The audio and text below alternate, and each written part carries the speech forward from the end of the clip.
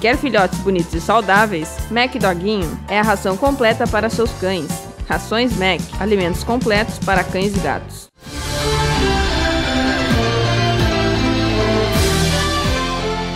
Tivemos uma reunião, é, é, é um assunto polêmico também.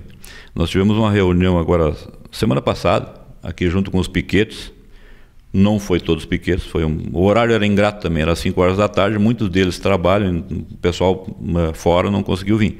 Foi uns oito, acho, oito, nove piquetes ali, discutimos com um cara que faz o rodeio de, do Parque da Harmonia, em Porto Alegre, há 16 anos.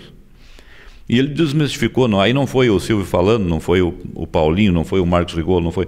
É, veio um cara de fora, com experiência de 16 anos, que disse o seguinte: se nós depender de fazer um rodeio com só com a parte campeira pagando tudo, eu quero levar esse cara de tapa, se ele faz isso, eu vou levar para trabalhar comigo.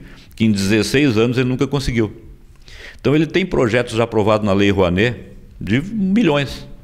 Que ele diz que o grande problema desses projetos é a captação. É tu saber que alguém que paga imposto de renda que está afim de colocar num rodeio, tipo, nós vamos na CNPC, CMPC, eu já estou procurando agenda com o presidente novo, mudou, não é o Walter Lídio, é outro, o diretor-geral é outra pessoa, Maurício. Estou procurando ele porque eles vamos primeiro na CMPC. CMPC tem 4 milhões para gastar em projetos dessa natureza.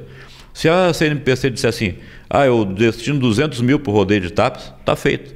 E outra coisa que ele diz, o rodeio, tu tem que entrar para dentro da porteira do rodeio com o rodeio pago. E aí, e, e o que. Quanto custa o rodeio de TAPS? O rodeio de TAPS não custa isso. O rodeio de TAPS, tu terceirizando a parte campeira ali, ele vai te custar ali na faixa de uns 100 mil, 120 mil. Mas só que é, é, o povo merece. Tanto que a gente se esforçou e abriu aquela cancha de rodeios. É, em, o parque Zé Cláudio Machado está estruturado, é um parque bom. Falta alguma coisa? Claro que falta. Mas o pessoal que vem de fora adora, acha bonito, diz que o problema não é sombra, eles fazem a sombra quando chegam, puxam numa lona num caminhão e estão ali. E são, eh, os caras vêm acampados para rodeio. A área é legal, tem água, tem luz, a prefeitura já botou muito dinheiro. É, comprou 20 hectares, está com água, luz, entendeu? Está com as ruas estruturadas, chega ali na hora, limpeza, enfim. Banheiro, o banheiro são, claro, tem que ser banheiros eh, químicos, não pode ser banheiros colocados ali.